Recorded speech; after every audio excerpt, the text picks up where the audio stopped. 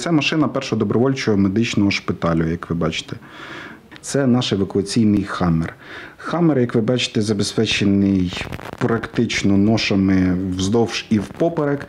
Є е, вихід під кисень, тобто це свого роду такий пересувний стабілізаційний пункт. Петро Артемчук, лікар Житомирського обласного центру екстреної медичної допомоги і медицини катастроф, показує санітарний автомобіль, на якому військові медики доставляють поранених із поля бою. Чоловік разом із колегою В'ячеславом Волошиним упродовж місяця у складі першого добровольчого мобільного шпиталю працювали на деокупованій Харківщині. Ми були в повному розпорядженні бойового підрозділу. І відповідно надавалася їм допомога. Коли поступала команда відповідно від командира а, роти, відділення, бригади про те, що е, є поранений, потрібна евакуація, потрібна стабілізація. Відповідно, ми висувалися на ту точку е, збору, де нам передавався поранений бойовими медиками, де була в машині йому надавалася відповідна медична допомога. Е, Везлися до себе на стабілізаційний пункт, якщо це було необхідно. е, Стабілізація і доправлення вже до найближчого лікувального закладу. Лікарі-добровольці працювали впритул до лінії фронту. Обстріли російських військ були постійними. Там, де ми, скажімо так, жили тимчасово. Ну, там відразу тільки ми вийшли з села, і почався обстріл з території Росії, буквально за нами, і ми уходили від цього обстрілу. Тихенько виходили, виходили, потім зупинялись на, на випадок, на той випадок, якщо там будуть поранені, що ми їх по дорозі заберемо. Скажу так чесно, при нас, е, ну, у нас загиблих не було. Українські військові спільно із лікарями організовували медичну допомогу. Медикаментів та ліків було достатньо.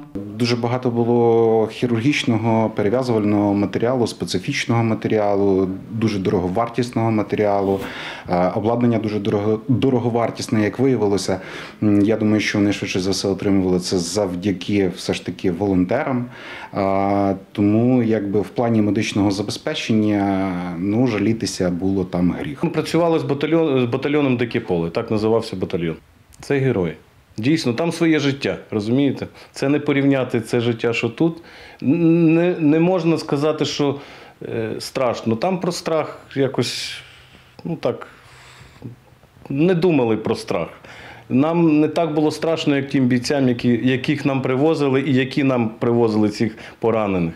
Медичну допомогу лікарі-добровольці надавали також і цивільним. Дуже багато цивільних зверталося. Дуже багато. Просто, ну не то, що просто прийшли, а звертались по, е, по таким мінімальним навіть своїм проблемам, бо там нема медиків, там, допустимо, там, де мав бути ФАП, його нема. Ну, фельдшерський пункт, його немає. До нас прийшло дві сестрички, е, два близнятки. Їх посікло осколками. Транспорту як такого там немає, тому вони до нас звернулися, аби зняти ці шви. Коли е, ми е, знімали їм ці шви, обробили рану, відповідно, заклеїли, дали рекомендації, вони нам подарували букетик. Дуже гарний букетик. Це, напевно, найкраща моя вдячність за все моє життя і мою лікарську практику. Те, що змогли, ми зробили.